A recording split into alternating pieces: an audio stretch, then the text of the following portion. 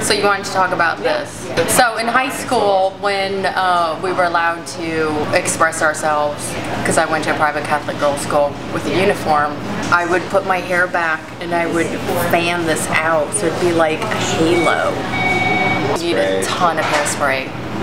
Very much and hairspray. Love ballet dancers, always wanted to be a ballerina. But I don't I don't want to look like one every day. So if you have this, it just sort of